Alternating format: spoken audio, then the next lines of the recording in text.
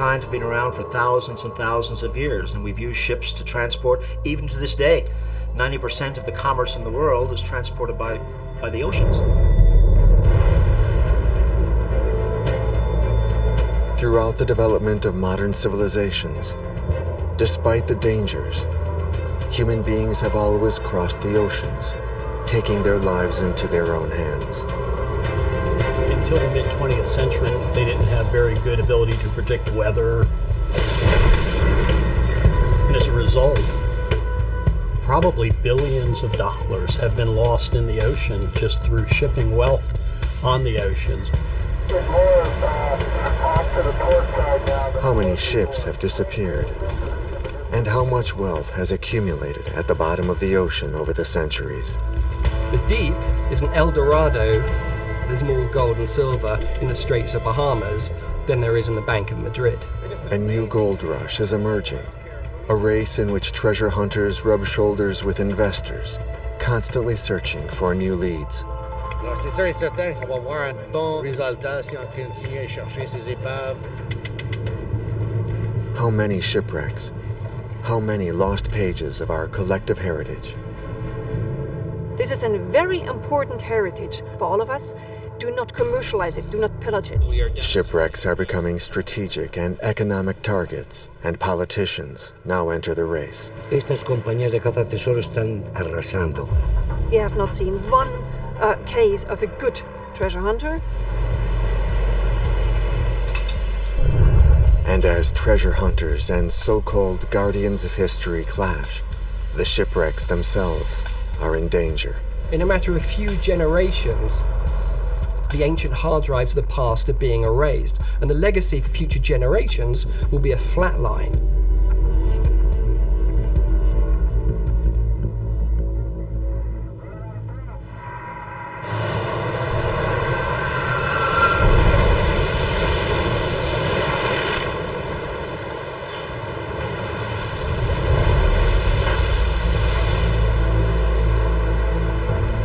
Whether they are due to human error, a technical issue, or to the weather conditions, accidents and maritime transport go hand in hand. Il faut être humble avec la mer. On ne gagne pas contre la mer, on compose avec la mer. A reality we only tend to address when an incident takes place near our shores, or when a large cruise ship is affected. The other accidents remain in the shadows. Si vous regardez véritablement à la loupe les choses, vous avez 110, 120, 122 naufrages de gros bâtiments de plus de 300 tonneaux par an.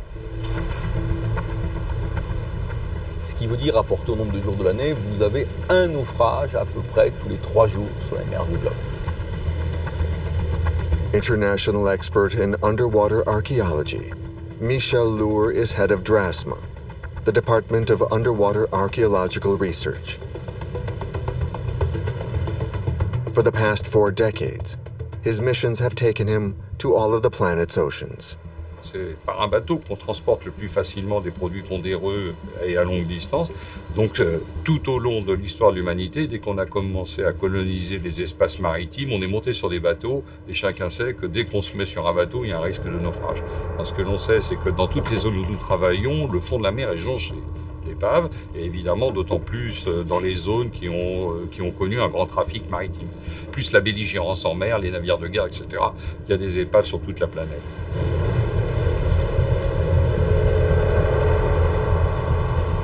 Food, fuel, consumer goods, and raw materials. 90% of all we consume is transported by sea.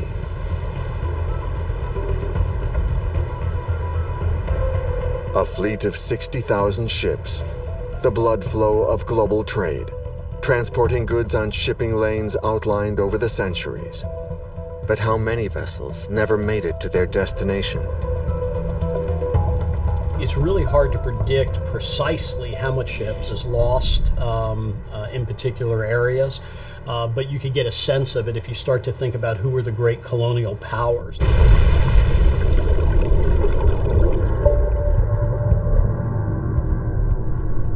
When you consider that ships have been sinking for over 2,000 years, and if you say, okay, so is it reasonable to think about a thousand ships a year are lost? I think it is.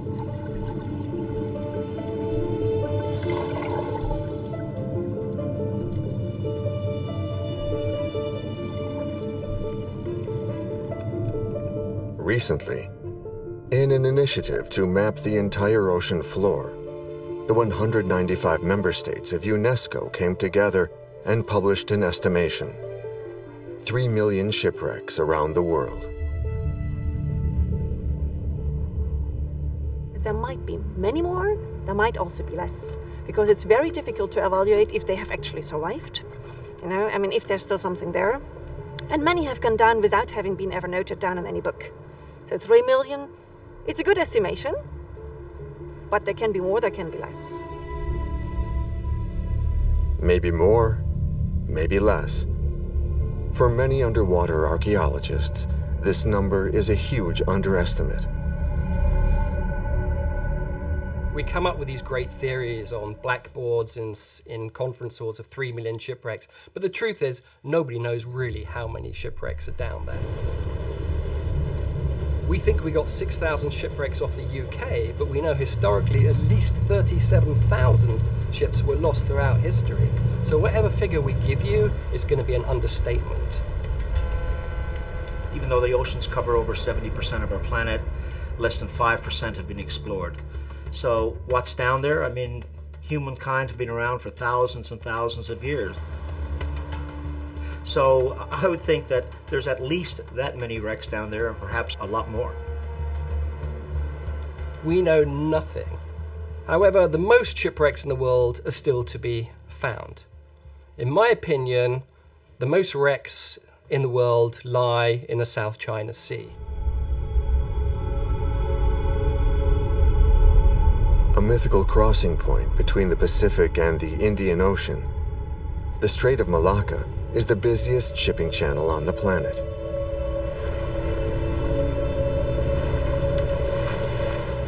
And the port of Singapore is its nerve center.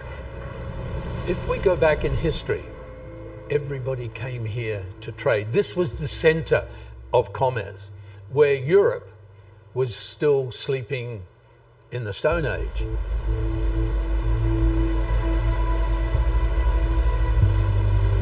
It's here where British Captain Michael Hatcher made his first dives as a treasure hunter.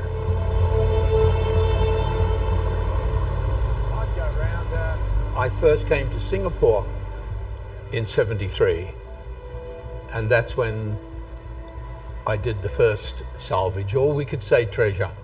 Um, and then from that point on, I've been hooked ever since.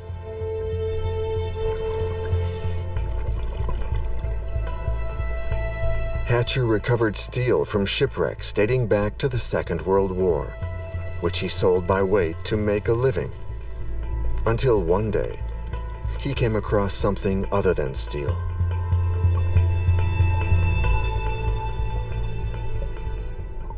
I didn't know nothing about porcelain. So I gathered up some pieces, took it to Christie's in Amsterdam, and Christie's are ringing me and ringing me so I eventually I go along and they pulled one cup up and they said to me, you any idea how much this cost? And I said, oh, maybe $5. And they said, what about 5,000? And I can remember I said to them, how many do you want? And they said to me, there is some more. The diver had unwittingly discovered the Nanking, a boat that sunk in 1750 after colliding with a coral reef, a veritable gold mine. There'd never been this amount of porcelain ever, ever discovered. In Amsterdam, they've been queuing round the block for hours on end just to glimpse the Nanking treasure was found 150 Immediately, what is now known as the Hatcher porcelain creates a storm. The the volume and variety of porcelain up for sale is vast. There are complete dinner services with place settings for as many as 144. And the Nanking's cargo is auctioned off in Amsterdam. And I think we got um, 27,000 pieces. And they were all saying it's too much, it'll flood the market, it'll destroy. But it didn't. It, it put interest in the market. It opened up the history book of Chinese porcelain. 58, 58, dollar, 58, The 27,000 pieces of Chinese porcelain are sold in just a few days to buyers from all over the world. A jackpot of nearly $10 million for Hatcher and his team. I'm absolutely amazed. Yeah, I can't believe it. Would I describe what I do as treasure hunting? I think that's the romantic name for it. I, I look at it as cargo recovery. Whether they consider themselves treasure hunters or cargo recoverers, many explorers enticed by Hatcher's story set sail and headed for the ocean deep, which, according to experts, still holds many surprises. Thousands of shipwrecks are going to turn up with incredibly rich cargoes, and what you get are clusters of wealth. You want to talk about the biggest concentrations in the world? You got to go to Havana, Cuba, where the great Spanish galleons used to converge. And there's a saying that there's more gold and silver in the Straits of Bahamas than there is in the Bank of Madrid.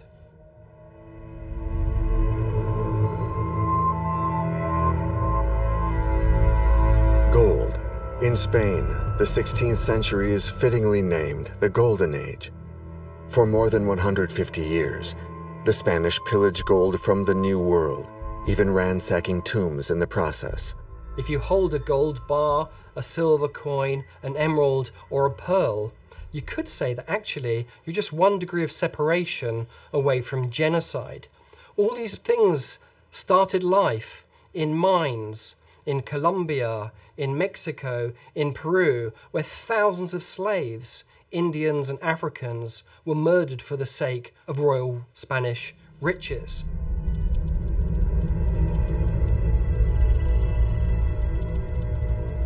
These stolen treasures from the Americas were loaded onto large ships and transported to the island of Cuba. The galleons then gathered in convoys in the port of Havana to cross the Atlantic together. Ese tráfico naval tan grande tiene una media anual de, de unas 4.000, prácticamente 4.000 embarcaciones entraban al puerto de La Habana. Hasta un punto que durante el siglo XVI y gran parte del XVII no es la villa de La Habana lo importante. Lo importante es el puerto, la bahía. Estamos hablando que en esos 150 años pasan por La Habana alrededor de eh, 200 mil kilogramos de oro y 16 millones o más de 16 millones de kilogramos de plata. Se crea mucho oro de caudales, no solamente vienen en lingotes, barras, tejos, eh, piezas para fundir, sino también eh, discos también. Eh, también vienen en, en monedas.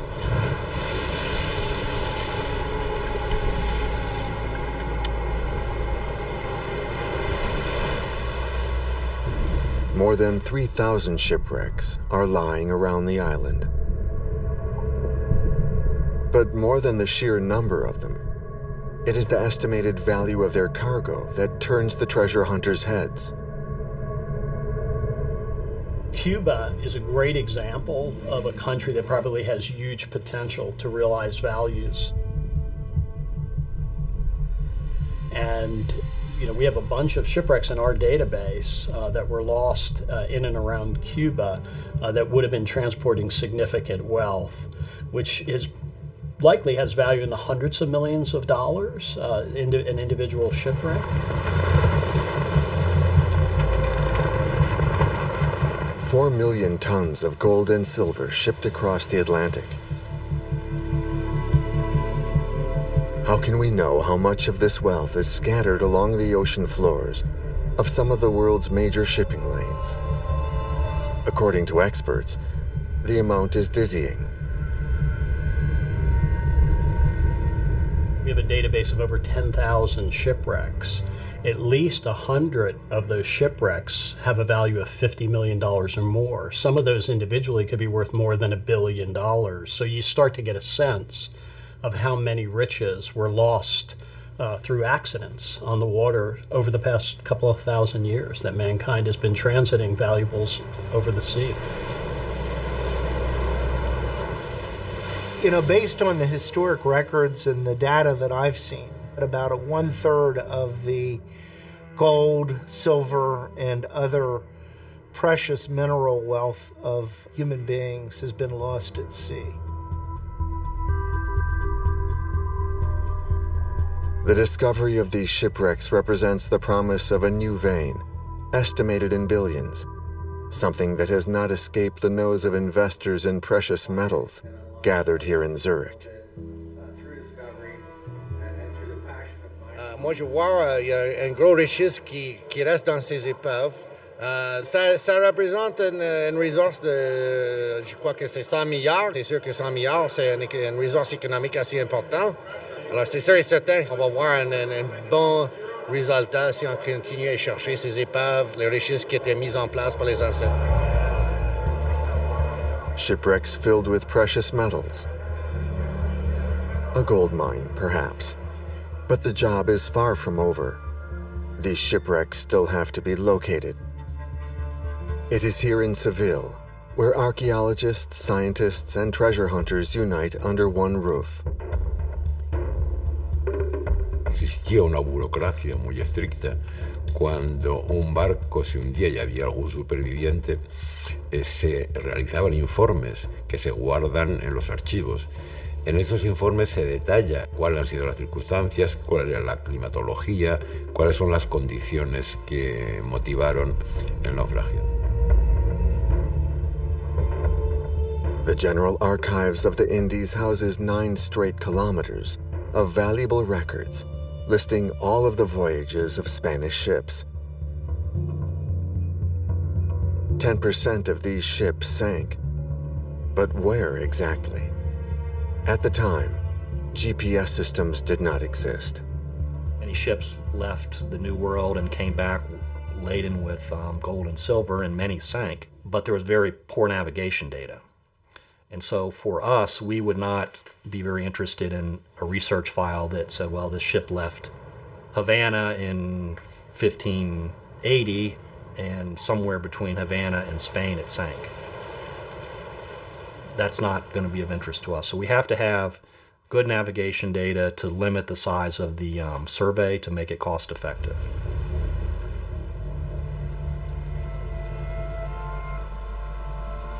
While maps and registers found from the period were unclear, technological advancements in recent years have now made it possible to fill in the gaps.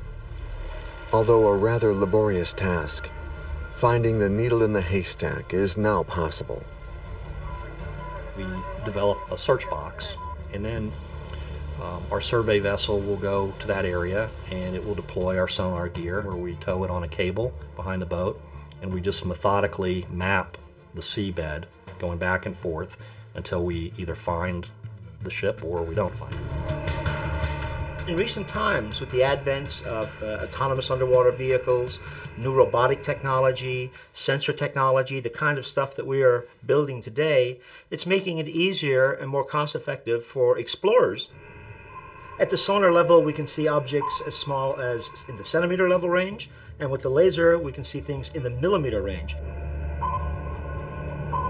Photogrammetry now makes it possible to visually reconstruct the seabed. As the tools get better and better, technology keeps breaking down the barriers of the deep. Les limites de la plongée scientifique, ça tourne autour de 60, 70 mètres. On arriverait à réunir une équipe pluridisciplinaire. Au-delà, ça devient très illusoire. Et au-delà de 300 mètres, de toute façon, l'humain n'a plus sa place.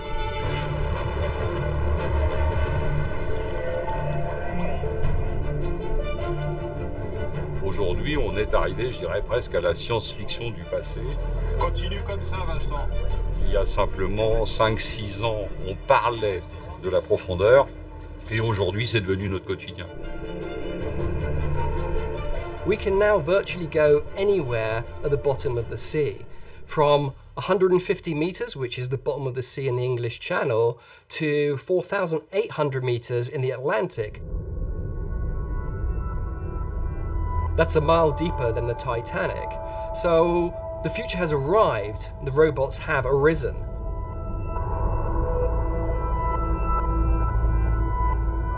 Although the Titanic lies 3,800 meters underwater, the shipwreck was explored 20 years ago. However far down, shipwrecks are no longer out of reach of human greed. And the massive wealth they harbor is whetting governments' appetites, which have also joined the treasure hunt. Hemos encontrado 307 años después de su hundimiento, el galeón San José. Finding the San Jose, a Spanish galleon sunk in 1708 by the British Navy off the coast of Cartagena, was a gamble taken by Juan Manuel Santos, then president of Colombia. In 2015, after years of research, his team located the galleon 300 meters below the surface off the coast of Colombia. On a affaire à un navire du roi d'Espagne qui transporte une cargaison extrêmement importante. On l'estime à 200 tonnes d'or plus une masse non négligeable, semble-t-il, d'émeraude. Colombian emeralds, gold from the Peruvian mines, under the cannons and amphorae, $17 billion worth of cargo, waiting patiently for the Colombian government. This is the largest treasure ever discovered. Le gouvernement de Colombie a d'une part annoncé qu'il avait l'intention de faire une fouille de cette épave qui soit euh, exemplaire. Proteger el patrimonio cultural de Colombia. En tout cas, le gouvernement dit je veux réunir la meilleure équipe du monde pour faire cette fouille, et en même temps, euh, il se rapproche de chasseurs de trésors américains en leur disant il faudrait que vous réunissiez l'équipe. Donc là, il y a quand même un petit gap, pour ne pas dire plus, entre la prétention scientifique et de confier le dossier à des chasseurs d'épaves qui n'ont aucune vocation à faire de la recherche scientifique. Today, the San Jose and its treasure are still 300 meters underwater. The Colombian government is unable to finance the recovery operations by itself. It would have to appeal to private companies, paying for their services by offering them a portion of the cargo, a practice fiercely condemned by heritage protection organizations such as UNESCO. I think those states will come round after a while and see that this is not a good solution. We have not seen one uh, case of a good treasure hunter. In the best case, he makes a lot of money. In the worst case, not even. But you will finish with your heritage destroyed and certainly nothing in your hands. The funding of operations to recover sunken cargo is a real dilemma.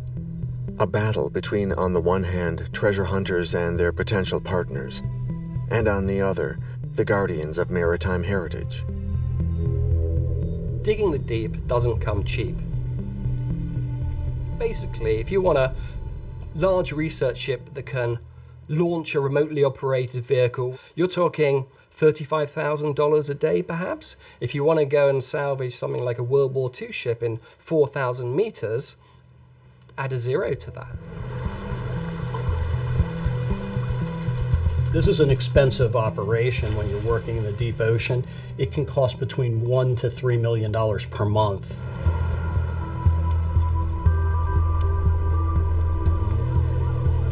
Millions of dollars. This is the price of joining the treasure hunt. A price that only companies such as Odyssey Marine Exploration can afford. This listed company, based in Tampa, Florida, is one of the industry's heavyweights in the recovery of precious metals. Odyssey Marine Exploration has been in the ocean exploration business since 1994. And the focus for the first mm, 15 or 20 years was almost exclusively to find uh, shipwrecks that had valuable cargo that could be salvaged and monetized. Odyssey has already hit the jackpot. In 2007, the corporation flew 17 tons of gold and silver in bars and coins into Tampa Airport. The hoard came from a Spanish frigate named Nuestra Señora de las Mercedes, which had sunk in 1804 off the coast of Portugal.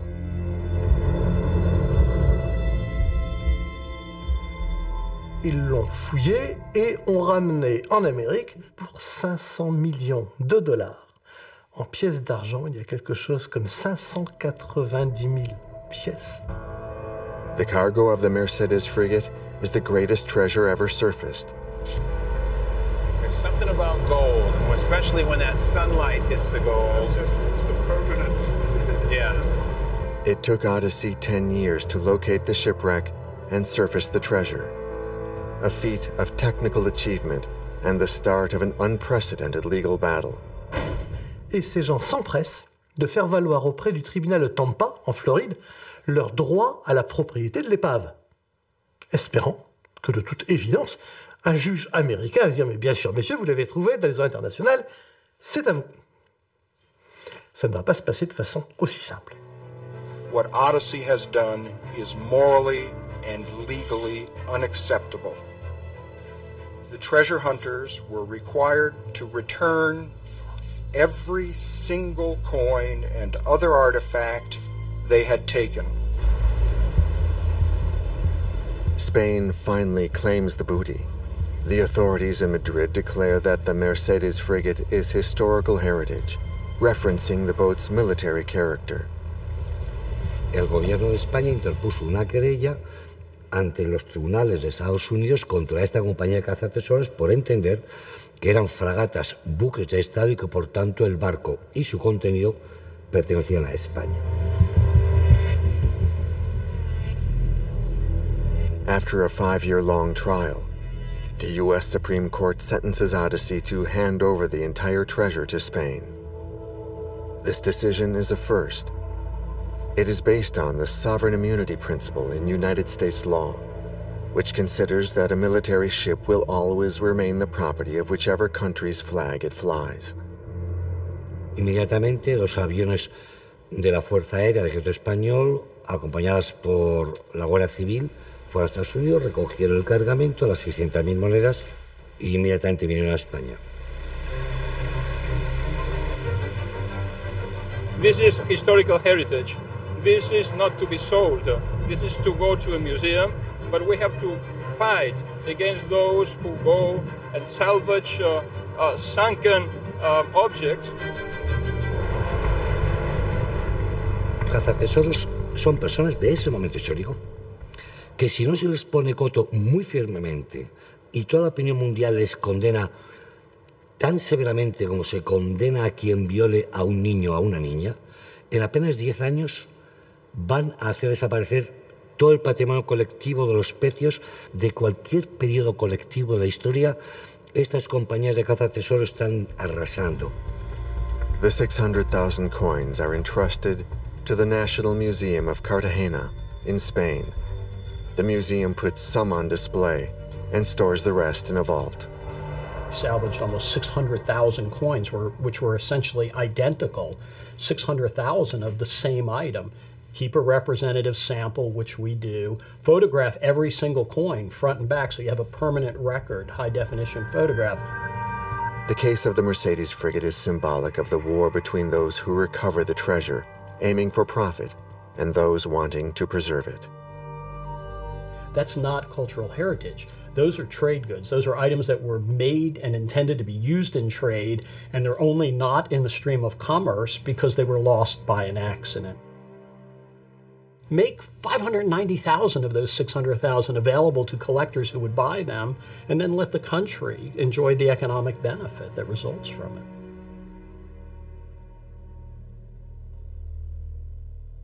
Efectivamente, querido amigo, las 600.000 monedas mm, de la fragata Mercedes u otras de otros buques españoles o franceses, si se venden da mucho dinero. Yo les sugiero que vendan ustedes todos los cuadros que hay en el Louvre, empezando por la Gioconda. Propongo que de las ocho columnas que tiene el templo de la Madeleine, que construyó Napoleón, se vendan siete porque están repetidas. Los capiteles son idénticos. Por favor, es una discusión impensable en un museo nacional. Ce raisonnement-là, on peut le faire d'ailleurs sur tout. Je n'ai pas besoin de 10 plats de porcelaine de Chine euh, très similaires ou identiques. Je, vous en gardez un, j'en vends le reste, etc.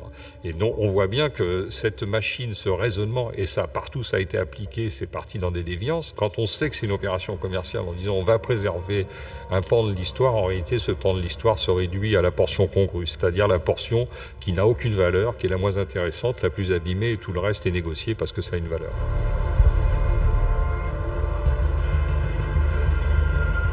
If treasure hunters are the only ones able to access these shipwrecks, how to ensure that they will not destroy objects with no commercial value in order to optimize their costs and recover as many valuable goods as possible in the least amount of time. According to them, the position taken by archaeologists and heritage protection organizations is unrealistic. The academic community, which oftentimes influences government policy, uh, is, is very opposed to a commercial model. Uh, the preference uh, is worldwide uh, seems to be to leave things be. The United Nations, UNESCO, the group in the United Nations that regulates this, has a preference for leaving things in situ, leaving them there. Once they ended up there, leave them there. Odyssey along with most other treasure hunting organizations, base this belief on one paragraph of the UNESCO Convention. It is written in black and white that in situ preservation must be a priority. According to them, this convention prevents any sort of exploitation. Es totalmente falso. La UNESCO en ningún momento dice que los objetos tienen que quedarse en el fondo del mar. La UNESCO dice sin tener ni los conocimientos técnicos, ni los medios, ni la capacidad de investigación. La primera opción es dejarlo in situ, formar un equipo científico, disponer de los medios técnicos, tener el dinero suficiente, tener un laboratorio de conservación y restauración. Y una vez que esto ocurra, los objetos y los yacimientos se excavan y se sacan. The convention says leave the underwater culture heritage in place if you don't have a good plan what you actually want to do. Today, recovering sunken cargo is possible, but it must be carried out according to a preservation protocol, supervised and controlled by UNESCO archaeologists. And once brought to the surface, nothing can be sold. Since people can actually go into the water, it's not so long yet, they have been looking for treasures and have been taking them out, you know, spreading them over the markets. A lot of things have been lost. To preserve this heritage for the future, for everyone, for humanity, this is a very important heritage, underwater culture heritage. All the traces uh, that humanity left in the oceans, protect it, preserve it, uh, do not commercialize it, do not pillage it. Ethical principles. The problem with that view is who's going to pay for that, right? Um, are the taxpayers? I mean, there are, everyone has bigger needs, uh, candidly, everywhere in the world uh, than going out and bringing this cultural heritage. Countries around the world have much more pressing issues that they have to fund uh, than spending money on shipwreck recoveries where we're bringing cultural heritage back to the light of day. Uh, but I really do think there's a, a model where there could be a commercial aspect to what happens, and all of the archaeology, all of the history, and all of the academic knowledge can also simultaneously be preserved and presented.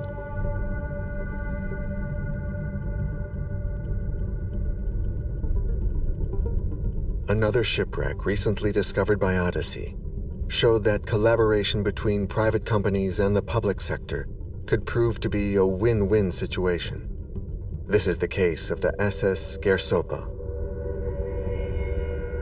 Odyssey had a contract with the British government to recover silver from something called the SS Gairsoppa.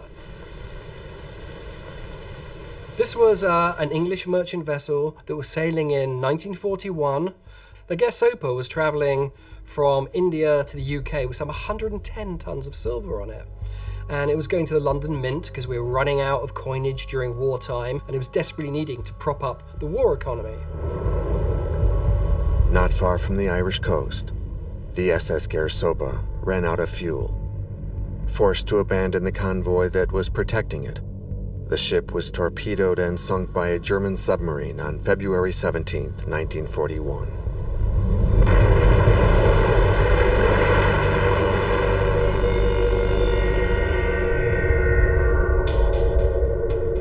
The shipwreck was located in 2011, 4,800 meters underwater. Thanks to an unprecedented technological feat, Odyssey, commissioned by the British government, managed to recover over 60 tons of silver. The silver was found. It was brought up from 4,800 meters deep. That's a mile deeper than the Titanic. And it was melted down, and the UK government got their split, and Odyssey got their percentage. 3,000 silver bars, worth a total of $210 million. The jackpot is shared between Odyssey and the British Treasury, but the story doesn't end there. But then, towards the end of the project, this sludge appeared up with the silver, and I was approached and brought into the team and said, What can we do with this? So, because they had the funds from the silver, we could take this sludge to a laboratory, get it conserved, get it analyzed, and out of this probable situation and from the darkness, we now have 600 personal letters.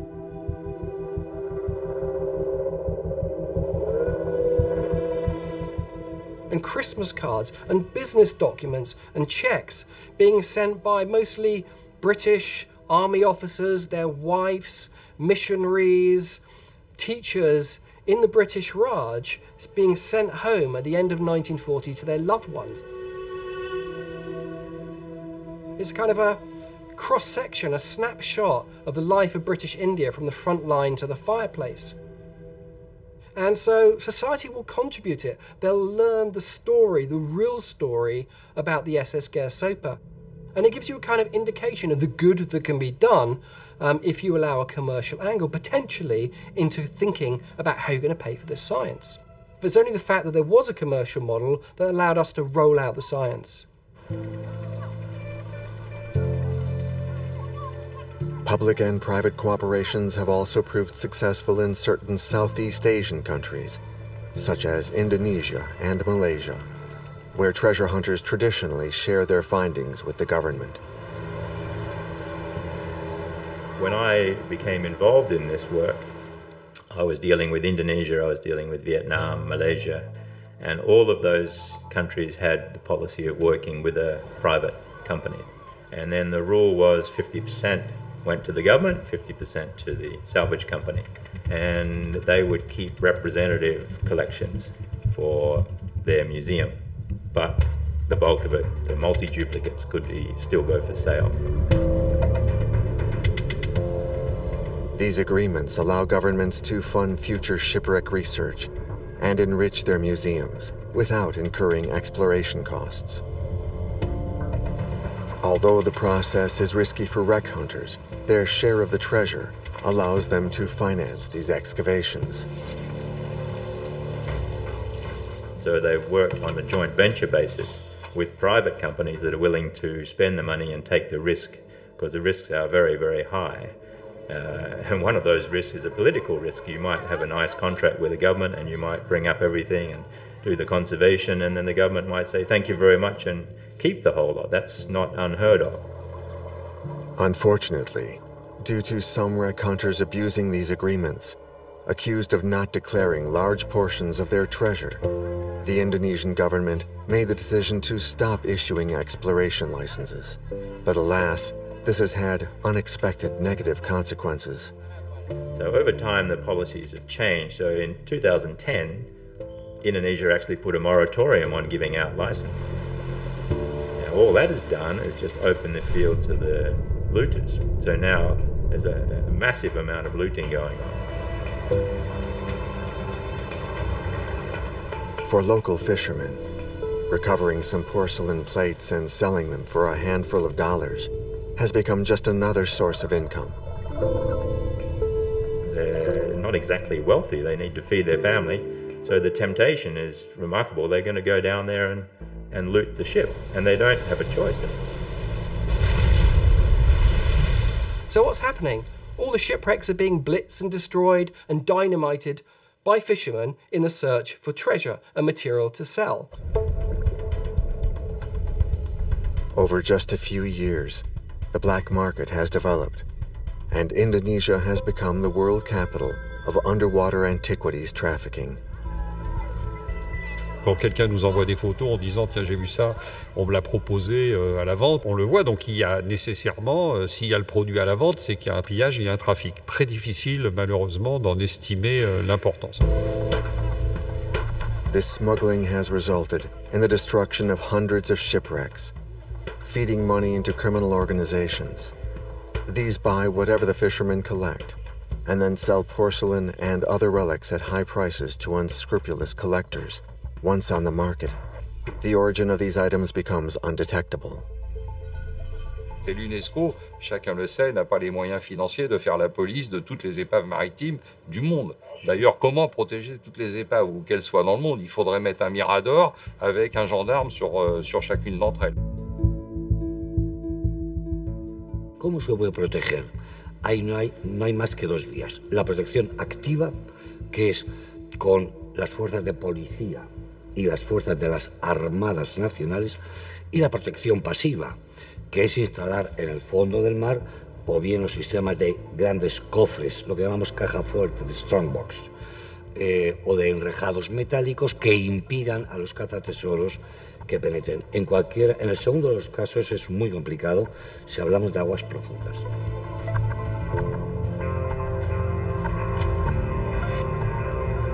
UNESCO has put protective measures in place in some archaeological sites. But these measures do not make a lot of difference. They only protect known shipwrecks whose cargo has already been emptied.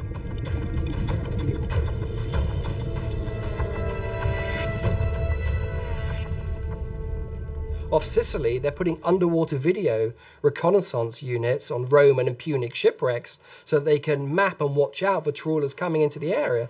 But that costs 150,000 euros to set up and 15,000 euros every year just for maintenance.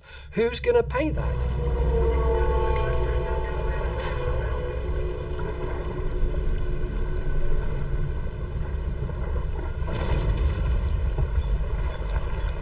While institutions and treasure hunters refuse to cooperate, some shipwrecks are becoming the object of geopolitical battles. In these cases, the treasure is not so much what the wreck contains, but where it is located. L'épave a été très longtemps appréhendée comme une page d'histoire euh, immergée de l'humanité qui méritait d'être protégée, étudiée, valorisée. Et puis tout d'un coup, l'épave peut encore avoir une autre valeur. C'est euh, c'est comme si on avait planté un pavillon sur la banquise en disant le pôle Nord est à moi parce que j'y ai mis mon drapeau. For several decades, Canada funded the search for two shipwrecks, the HMS Erebus and the HMS Terror, both of which disappeared in 1845. The purpose of John Franklin's expedition was to connect the Atlantic to the Pacific via northern Canada.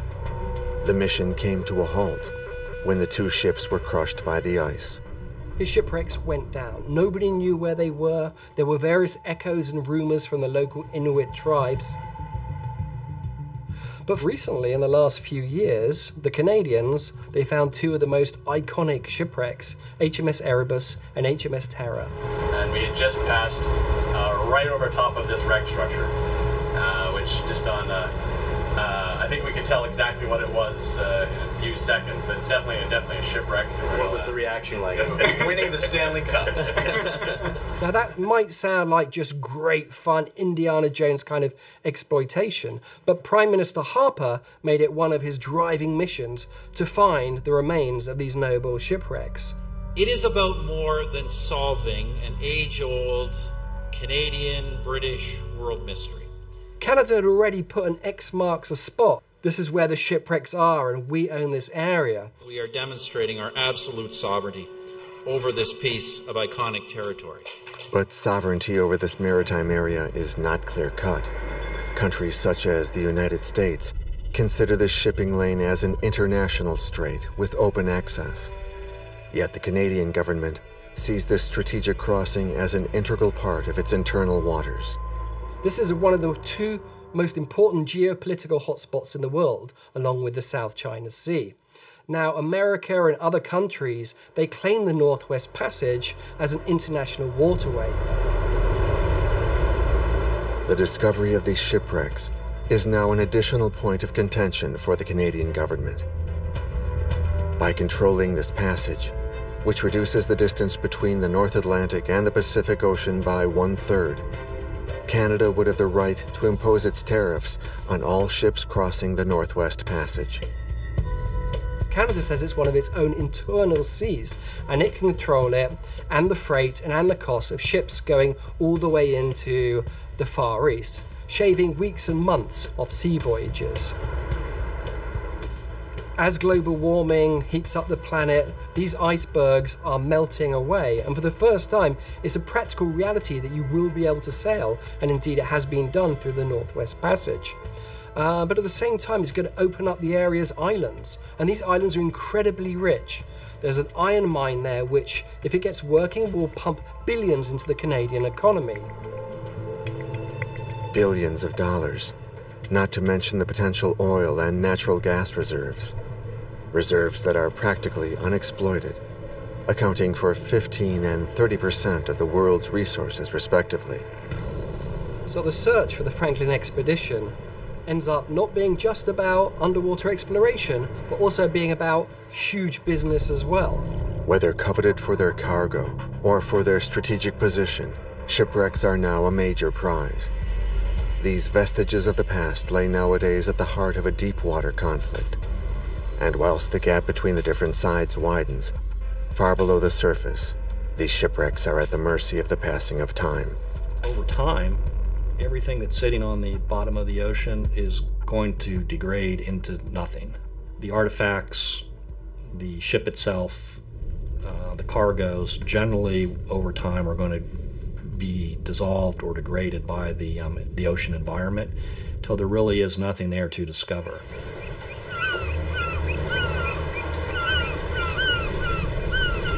Ocean acidification, the leading cause of the disappearance of coral reefs and numerous marine species, is gradually eroding these shipwrecks. And there is another threat fishing, and in particular, deep sea trawling. I've argued that bottom trawling is the greatest threat to marine archaeology today.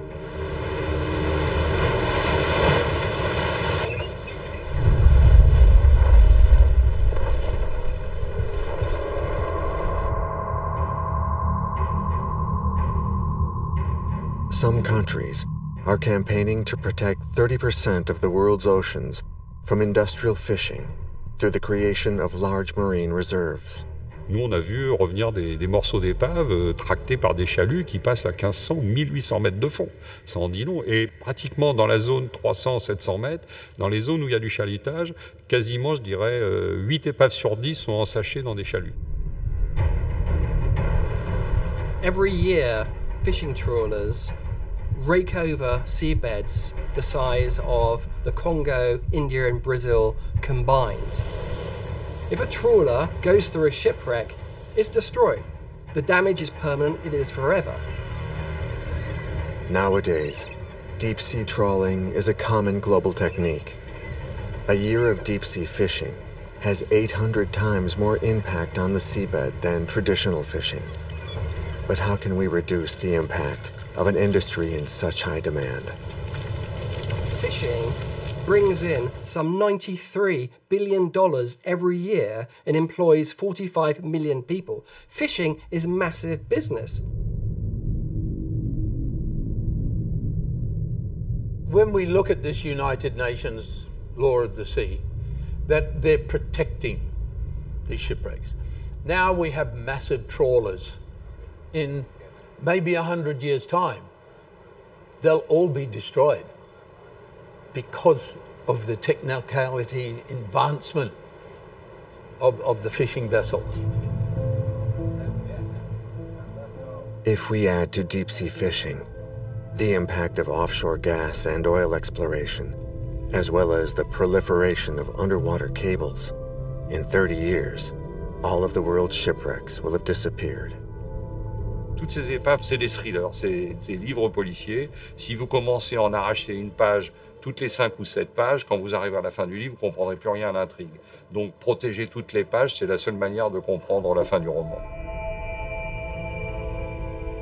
It's very important, you know, to protect and research this heritage, but then also to give it to the public and say this is something that you should appreciate, that is yours, and, uh, you know, protect it because it is yours.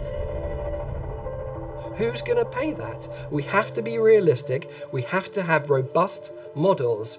And I'm not saying that the commercial model of selling fines is the right model, but everything has to be on the table and we have to think creatively. The only way that really it can be done is to work with the government, which we are endeavoring to do and are doing, that that pieces will be preserved. It will go for all out, for humanity, for everyone. If we just block it, it's lost. It's going to be lost. Will we finally open our eyes and save the shipwrecks from their predicted disappearance? Will institutions such as UNESCO archaeologists and treasure hunters remain unshifting in their views? Or will they start talking to one another and work together to solve one of the greatest cultural challenges of this century?